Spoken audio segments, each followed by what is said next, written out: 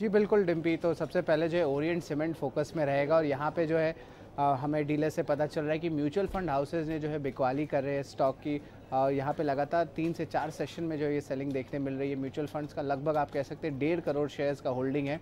इसको तब्दील करें तो 7.2 परसेंट स्टेक आती है कंपनी में। लेकिन कौन से तीन बड़े म्यूचुअल फंड हाउसेज है जो फोकस में रहेंगे?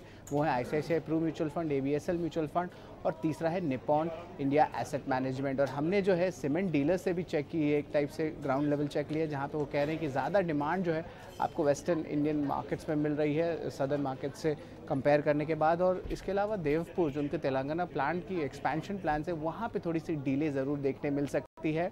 और जो है, जून के महीने में जो प्राइसेस आने वाली है एक्सपेक्टेशन है बाज़ार का कि प्राइस की रोल बैक देखने मिल सकती है। प्राइस हाइक्स के कारण अब याद रखिए, जून के महीने में जो है डिमांड इंफ्रा की जो पिकअप होती है मानसून के कारण थोड़ी कम है तो इसमें जो है प्राइस हाई की रोल बैक देखने मिल सकती है। लेकिन ओवरऑल जो है थोड़ी सी वीक सेटअप आउटलुक देखने मिल रही है क्योंकि कंपनी अगले दो से तीन साल में कैपेक्स करने वाली है।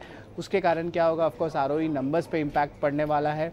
और हज़ार पचास करोड़ का कैपेक्स का आउटले भी रखा गया एफ़ आई ट्वेंटी फोर के लिए। और जो आर ओ सी नंबर्स है, वो 30 से 40 परसेंट गिर सकते हैं। पहले जो थे 12-13 परसेंट के रेंज में थे और अगले दो साल में बाज़ार का अनुमान है कि 6 से लेकर 8 परसेंट तक का आर ओ रहने वाला है आर ओ सी जो है। और क्यू वन एफ़ के बारे में बात करें तो इस क्वार्टर में भी थोड़ी इम्पैक्ट पड़ेगी क्योंकि शट डाउन कर रहे हैं बहुत सारे प्लांट्स तो उसके कारण थोड़े वीक सेटअप नंबर्स भी आ सकते हैं। तो ओवरऑल जो ओरियन सीमेंट का ये ओवरऑल आउटलुक हम आपके लिए पेश किए हैं। और राइट इंटरेस्टिंग कई सारे म्यूचुअल फंड्स uh, uh, बेच रहे हैं इसमें और म्यूचुअल uh, फंड्स का लगभग सात परसेंट तक का हिस्सा है। तो वीक नंबर्स के सेट पे और कुछ और दूसरे ट्रिगर्स प्राइसिंग के ट्रिगर्स को लेकर higher demand scenarios western market से आ रहे हैं और सदन से नहीं ये एक नेगेटिव ट्रिगर रहेगा कंपनी के लिए। शुक्रिया शरद ये सारी जानकारी देने के लिए।